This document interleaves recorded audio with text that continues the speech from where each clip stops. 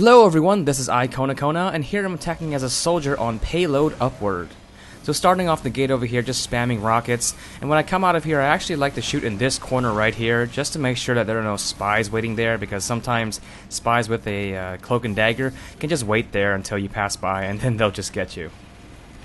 Now, I have to warn you that in this video, you'll see me do this a lot. what I mean by this is push the cart and just kind of circle it. You notice that none of my teammates are helping me push this cart. Look at that scout go. And even this scout right here, is he's like partially AFK, but he runs away too. So no one is helping me here. Luckily, this pyro comes over here and actually helps me push the cart. But in this game, uh, our teammates kind of forget about the cart or the objective of this game, and they push really far forward. Um, actually, I do that sometimes too as well. And what I'm trying to do is I, am actually doing this right now. I'm trying to clear the area in front of the cart so that it'll make it easier for people pushing the cart. Now, actually, there's someone behind us right here, so Pyro ends up flanking us. But don't worry, I got him. But yeah, in payload maps and sometimes control point maps as well, I like to push a little forward just to make sure that the area in front of the objective is clear, and that makes it a little easier for the people on the cart to push it. But in this game, it is a little different. I was now the one pushing the card. I wasn't the one pushing up forward too much. I was the one pushing this card. And oh, random crit. I love those. Took out a medic and a demo, so that's cool. But yeah, I was I was just circling this card. You notice how I circle it. I actually try to use the cart as cover, just in case someone tries to flank us from behind. I can maybe hide behind the cart. And so, yeah, um, right here I'm just kind of like, oh, I'm, I'm, bored of pushing the car already. I pushed it through the tunnel. I figured I'd get a few kills here, uh, make sure this area is clear, and then jump down and then again start to push this cart. And again, I'm circling it here, just making sure it's clear. Now, I understand that sometimes it can be difficult to play the objective like I am now because it does get boring. I mean, look at this.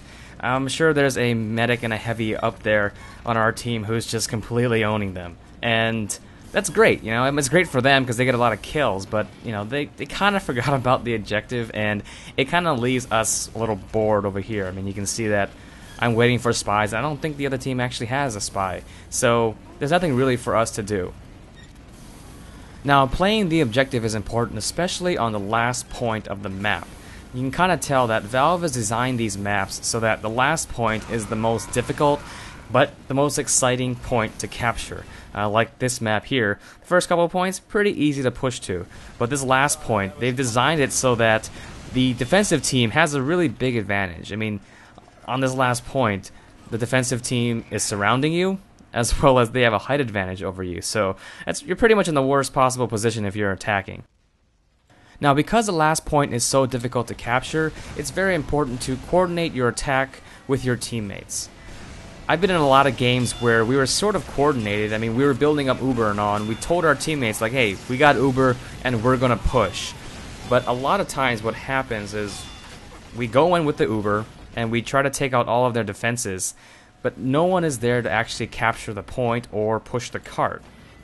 Now, if your team has an Uber and they go in with an Uber, your job really is to support the Uber, but also play the objective because the Uber offers a great distraction for your team. It's going to block the other team. Basically, all the attention is going to go for that Uber, and it gives you a really good opportunity to try and get in there and either capture the point or push the cart. And so, you want to make the most out of the Uber because it doesn't happen a whole lot.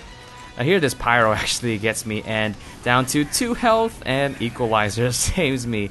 Oh man, Equalizer is like the best weapon for Soldier. It gets me out of so many situations. So now back on the card, helping push it, and I actually decide to push up a little forward because I'm curious as to what the enemy actually has. Usually the enemy team likes to have a lot of sentries, like big sentries, level 3 sentries all over the place. So I want to make sure that the area is clear, or at least I know where the sentries are, so that I can call them out. But they don't seem to have any sentries, which is really nice. So I accidentally dropped down here, and I can't really do much here because as a soldier, you want a height advantage, and they obviously have the height advantage. So I decide to kind of stick around over here. Here's a spy. Um, spy spy battle is not the most exciting to watch, so I decide to end that one and take out this pyro with a shotgun. So just waiting here, reloading. Uh, I pop out over here and I just start spamming away at their spawn because I know that they're respawning.